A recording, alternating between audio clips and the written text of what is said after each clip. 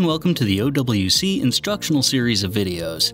In this installment, we'll be adding a second drive to a mid-2012 13-inch MacBook Pro using the OWC Data Doubler.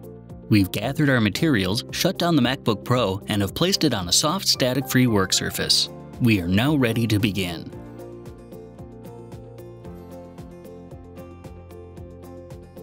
The first step is to close the MacBook Pro and flip it over. On the bottom are 10 Phillips screws. The three in the upper right are longer than the others, so remove those first.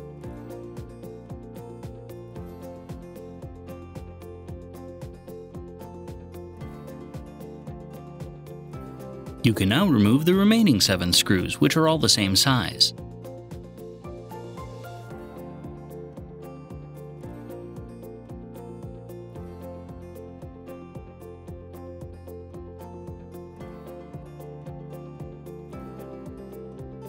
Once the screws are removed, you can lift the bottom off. For best performance, we've already installed an OWC 6G SSD in the main drive bay. We're going to install the original platter-based drive in the data doubler which will go in the optical bay here. First though, we need to disconnect the battery connector which is located here. Use a nylon pry tool to gently lift the connector free from the logic board. Once it's disconnected, we can then safely remove the optical drive. Using your nylon pry tool, detach these three data cables. The first Phillips screw we need to remove is located here, underneath these wires. To get at the second screw, you need to first loosen this module by removing these three screws. The one on the right is shorter than the other two, so remove that one first.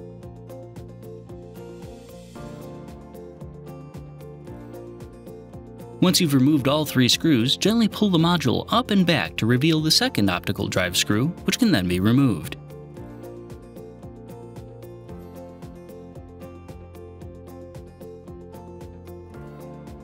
Finally, remove the last optical drive screw, which is located here along the outside edge of the MacBook Pro.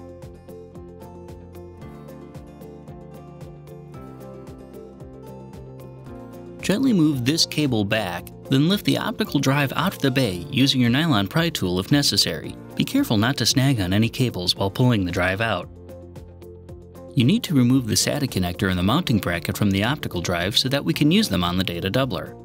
You can first remove the SATA connector by simply pulling it off. Then, remove the two Phillips screws holding this mounting bracket into place.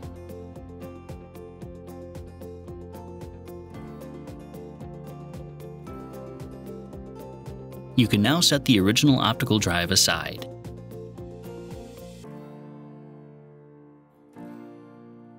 There are two bags of screws that come with the data doubler. In the first bag, there are five screws. We'll need the two thick ones, the others you can just set aside. Take your drive and line up its SATA connector with the one on the data doubler and slide the two together.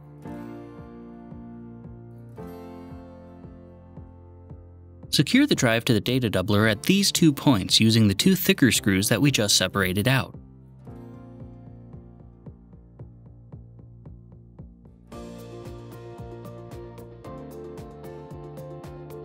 Next, line up the SATA connector on the data doubler with the connector on the cable and slide them together.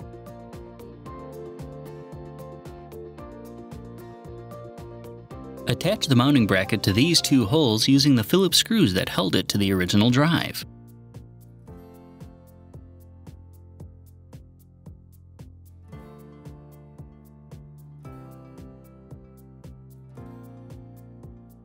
The data doubler is now ready to install.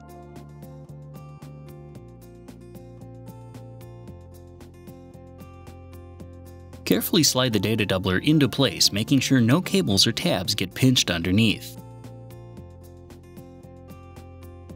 Use the original Phillips screw to reattach the rear bracket. To secure the front, we'll need the two longer screws in the OWC marked bag that came with the data doubler. First, pull back the module and attach the corner using one of the two screws from the bag.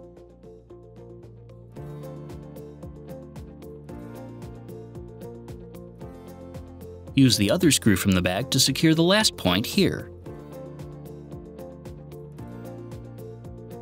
Once that's done, secure the module back into place. The two longer screws go in the left two holes, while the smaller screw goes on the right.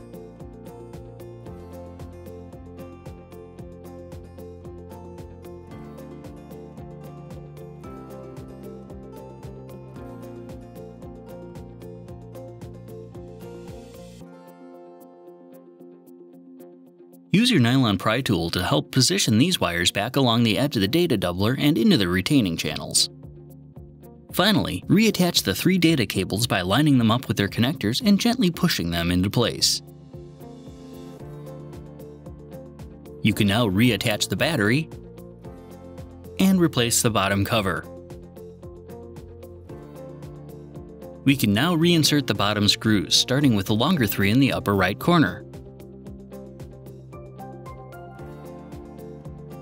Then, replace the remaining 7 screws.